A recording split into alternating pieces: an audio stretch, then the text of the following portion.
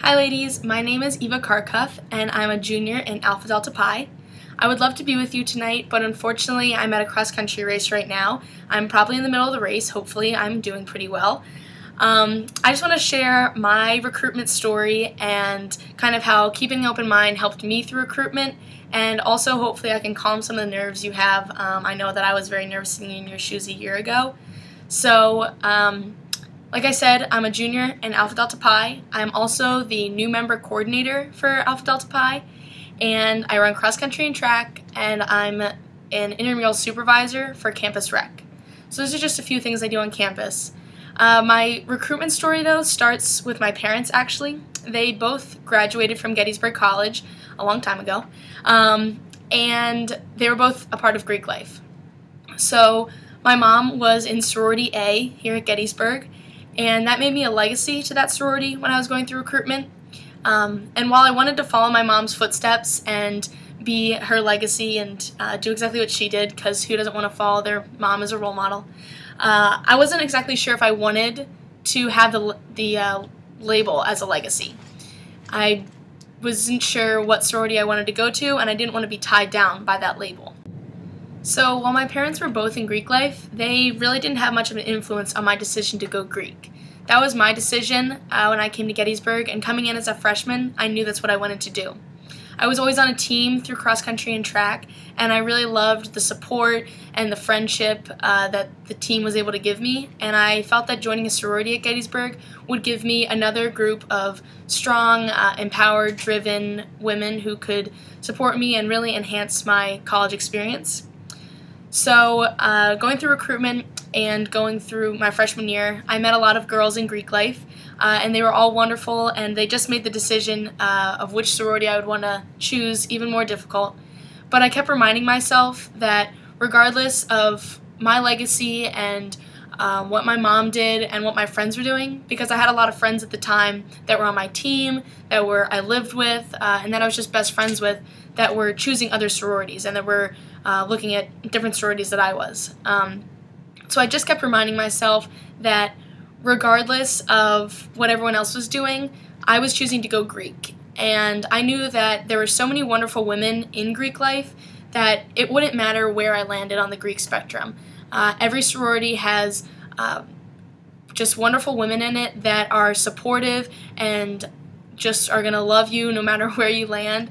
I've met girls in every sorority since I've been in Alpha Delta Pi, and they're all they're all there for the same reason. They all want to be a part of Greek life, and so I knew that no matter where I landed, those women were going to look out for me, um, and also that they were all different in each sorority. So I would find my place no matter where I landed. Um, but as freshman year ended, my nerves uh, still weren't settled. I wasn't sure still where I wanted to go. There were a few that stuck out, a few sororities that stuck out to me, but um, going into recruitment uh, in the fall, I was still kind of torn between sororities that I thought I really liked, uh, sororities that my friends were going to, and then my mom's sorority. So when formal recruitment came around, um, I went to all the parties. Uh, all the women were amazing. All the sororities stuck out in their own way. Um, but by Sunday, the last day of recruitment, uh, during pref round, I was called back to two sororities. Sorority A, that my mom was in and that I was legacy to, and sorority B, which was one of my top sororities. Um, so I was really I was really happy and that I was called back to those two. I felt comfortable with either one of them. I knew that joining the sorority that my mom was a legacy to, there were a lot of great women in there. It would be something really special, and that I was connected to my mom. Uh, and if I knew that if I joined sorority B, um, I really felt comfortable with those girls, and I felt uh, just like I could be myself there. So I knew either one was a great option. Uh, when I was going through the pref party in sorority A, where my mom, where I'm a legacy to, uh, I kept thinking about my mom and how cool it would be to follow in her footsteps and to have that family tie uh, be really something special that I could share with my mom. Uh, but at the same time, when I went through the pref party at sorority B, I just felt more comfortable there. I felt like, like I said, I could be myself, and I just felt at home. Those girls felt like I, I could fit in a little bit better there. Um, but I didn't want to let my mom down. I didn't want to disappoint her or insult her by not joining her sorority. But uh, like I said, this was a decision that I made myself, uh, and I stuck to my gut. And so I just went where I felt most comfortable. Um, and also, I had a lot of friends who were joining other sororities besides my legacy and besides the sorority that I thought was my top choice. Um, so there was a lot of influences on Sunday. It's very high emotions um, this whole weekend. And I just reminded myself again and again no matter what happens, no matter who I rank first and who I rank second, um, I knew that either sorority, A or B, was going to be a great option for me because, um, like I said, I was joining a team. I was joining Greek Life, and Greek Life has just amazing women in it in general.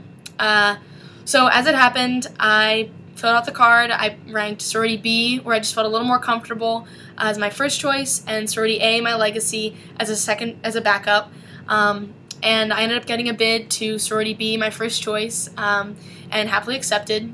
And when I called my mom uh, that night to tell her that I had gotten sorority B and I did not go with her legacy, uh, believe it or not, she didn't care at all. Um, she still loves me. She's just as happy. She was actually ecstatic that I chose the sorority that I wanted. Um, I had friends that joined other sororities, and to this day, um, it doesn't make a difference. I'm roommates with girls in different sororities.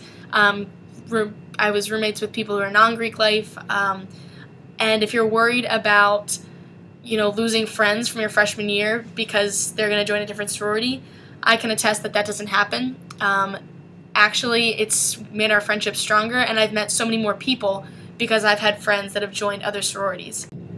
Uh, so to wrap up, I just want to say a few quick words of summary, I guess.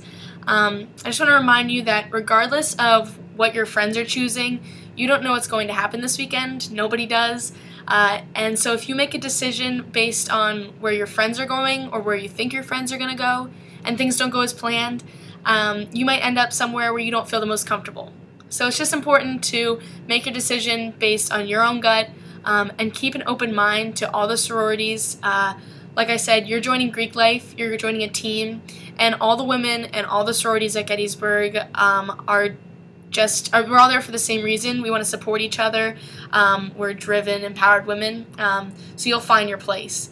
Um, and like I said, I can tell you from personal experience that if you're worried about losing friends, it's not going to happen. Uh, you can remain friends, teammates, roommates uh, with girls in other sororities and girls that are not in Greek life. Um, remember, this is Gettysburg. It's a small campus. It's really hard to lose track of friends, but really easy to make new ones. Um, and then lastly, uh, if you are a legacy, which I know not everyone is, um, but even if you have friends at other schools and other sororities or whatever, um, being a legacy doesn't determine your fate. This is your college experience, and you have to follow your own path. Um, and sororities change from year to year and definitely from campus to campus. So you have to listen to your heart and find your own home and in Greek life at Gettysburg. So I hope everything I had to say was helpful. Uh, good luck this week with classes, and I look forward to seeing you all this weekend. Don't be too nervous, just enjoy it. Uh, this is a really fun weekend. And uh, again, I hope everything I said was helpful.